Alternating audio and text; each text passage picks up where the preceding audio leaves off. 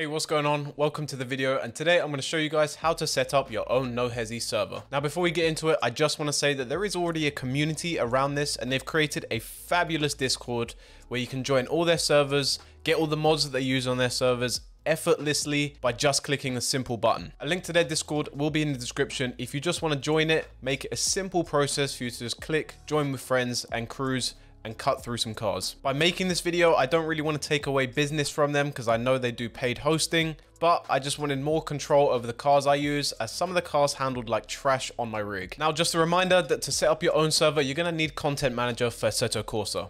So if you don't have this already, Content Manager is a super useful tool, which you can literally pay $1 for to the developer, and it enables a load of tools and a load more freedom compared to Assetto Corsa's normal launcher. So if you don't have Assetto Corsa Content Manager, make sure you go get that first and then proceed. And once you have Content Manager fully open and activated, you're probably not gonna have the server tab in the top corner. So what you wanna do to enable that is head to settings, appearance, and then just tick the box where it says server. Now that you have the server tab, we're gonna head into server and here you can already see a template that I've already got for the server that I already run on my Twitch channel which if you want to join me and my community for some cruising, please check out my Twitch channel. The link is in the description below. Feel free to get involved with us and cut some lanes up. Now, what we're going to do today is we're going to make a whole new template. So we're going to hit the plus in the bottom corner and then we're going to name our server Sloshy's No Hesi.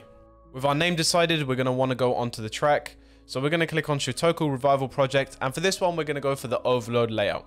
If you don't have these maps already, there is a link to SRP's official Discord in the description make sure you head over there, get the tracks downloaded and install them into Content Manager. Now with the tracks installed, double click on our overload layout, hit OK, and then here is where we're gonna add our cars. Now we're gonna add AI cars, which are gonna be the traffic cars, and we're also gonna add the player cars that we're gonna allow our friends, you know, me, my friends, all to use and to cut up with. Now to do that, you're gonna click on this gray blank tile, and then from here, it puts you into the entry list. Now the entry list, pretty self-explanatory here. Obviously, it's all the cars that are going to be entered into the server. So these are player cars as well as AI cars. Now to add cars, it's super simple. You're going to hit the plus in the top right corner, filter whatever cars you want.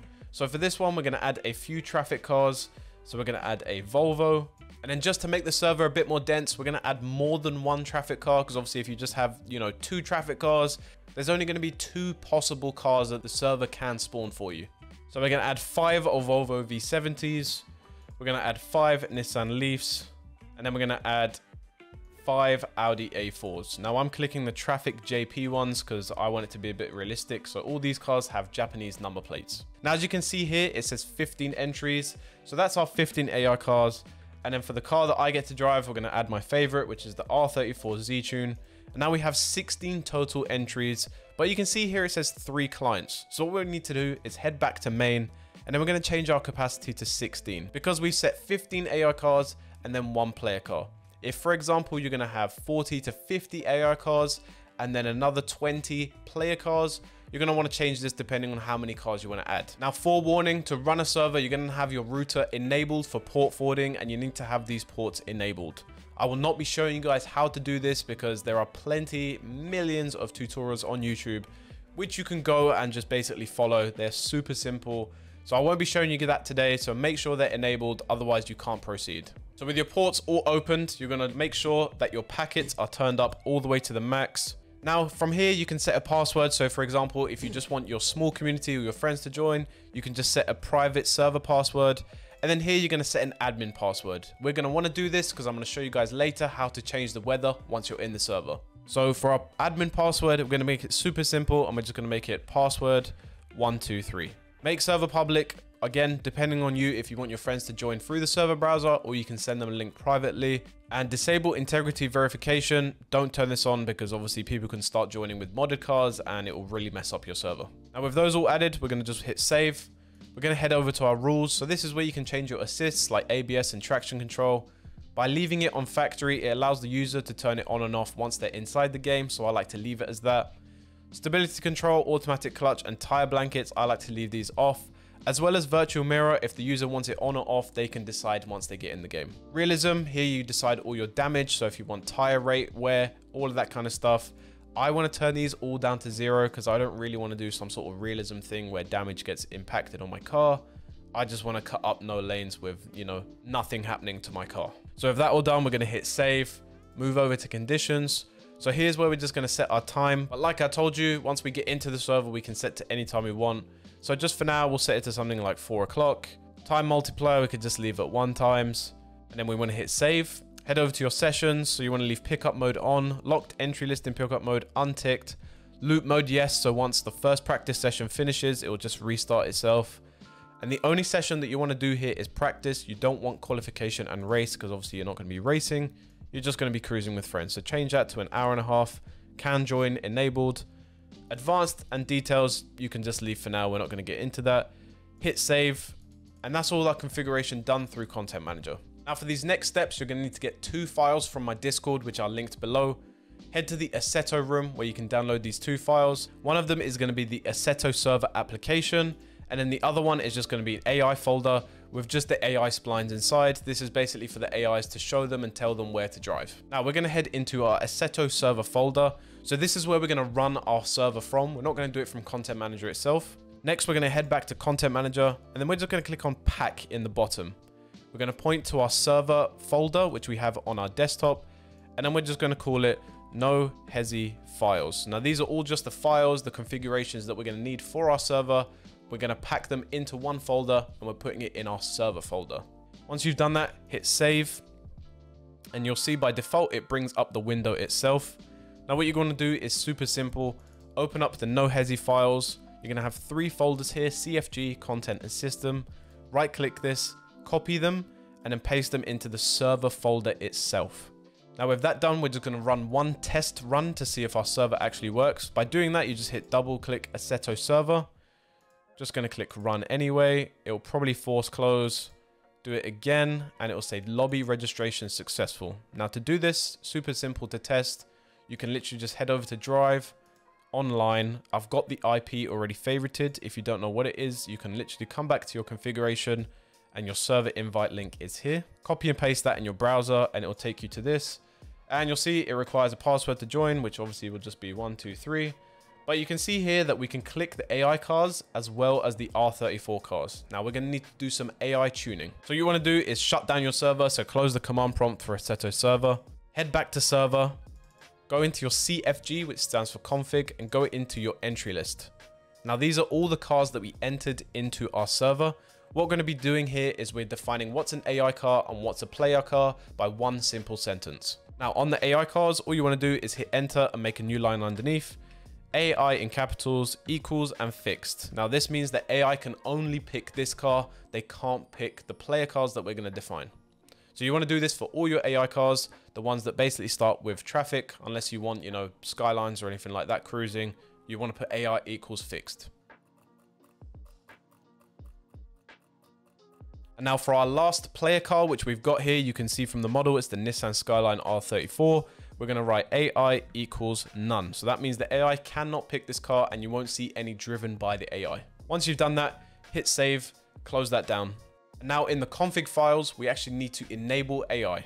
So what you want to do is head to CFG, go into extra CFG. Now it might look like a big bundle and jumble of code, but it's actually all defined by these sentences above and below. So, you know, maximum allowed AFK time, yada, yada, yada. The one that you want to scroll to is enable AI traffic. What you want to do is double click on false, change this to true, and then hit save. Now, we cannot run our server right now because we haven't told the AI how they drive, where they spawn, all of that kind of stuff. So if you try run it, it will just instantly close. What you need to do is use the AI splines that you downloaded from my Discord and drag them into the server folder. How you do this by opening it is going to content, tracks, Shutoko Revival Project Beta. In here, you make a new folder called AI.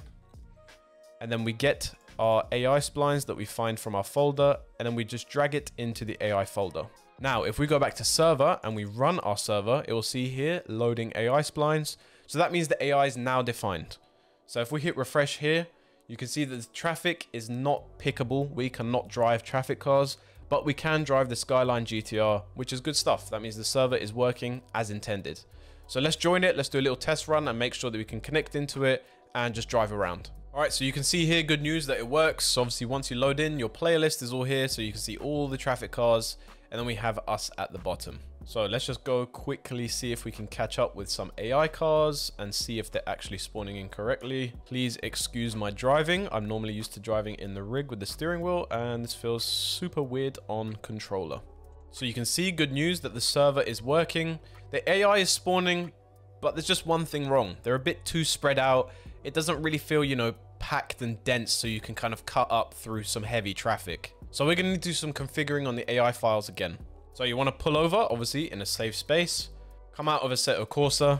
Head back into your, or actually make sure you close down your server first. Head back into your server folder, CFG and extra CFG. So if you can see underneath enable AI, where we changed it to true, if you scroll down, you'll see AI params, which stands for AI parameters. Now you want to copy the numbers that I have on screen here. I did some testing and these seem to be the best numbers in order for it to be dense, but not too dense that you're literally getting stuck in London traffic. Now with all of those AI parameters entered, you want to hit save. And then we're going to just restart our server and hopefully we should have a nice packed condensed server to cut up in. So you want to head back to your server folder, double click Assetto server. Good news, it hasn't crashed. It says lobby registration successful, which is what we want to hear. And then we load back in. All right, once loaded in, let's see if we can catch up to AI. And hopefully now, it should be a lot more closer knit together. And it should be a lot more dense. You could probably see from the distance that it is. Now, do bearing in mind, it's not going to seem overly populated due to only adding 15 AI cars. Normally, when I run my server, I normally do about 40 to 50 AI cars.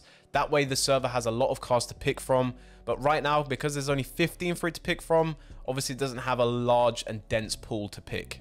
But you can see here, like in the middle lane, very tight knit together. So the more you add, the better it will be. Obviously, the more friends you have as well, you can start cutting up with. It'll be a bit more of an enjoyable experience.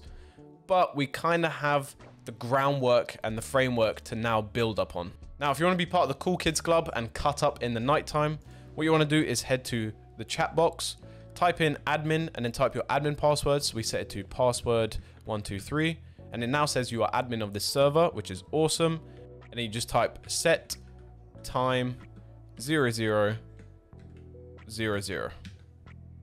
And now you see it's set straight to nighttime. Now in this video, I won't be going over extra options like how to change your car color, how to teleport around the map. If you do want to see those things, make sure you drop a like on the video. If we hit a certain number, like 100 likes or something like that, I'll make a second video which goes along to this and I'll show you some extra features which you can add to your server. Now again, in our demo server, we only added 15 AI cars. To make your server a very enjoyable experience, I'd recommend anywhere between 40 to 70 AI cars. And also remember, you're gonna need a beefy system to run this because after all, it's all running on your machine and your internet. So don't do it if you're still using dial-up or anything like that. I imagine the comment section to be flooded with all these kind of errors and stuff like that.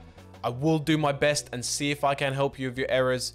But if you get any basic errors, try and read through logs. It will probably explain to you in there what's going wrong. If you're getting mismatch or info errors, it's more than likely your car models that they're out of date compared to what your server is running. Make sure your router is port forwarded because a lot of people don't know how to do that and get a lot of errors trying to set up their own server.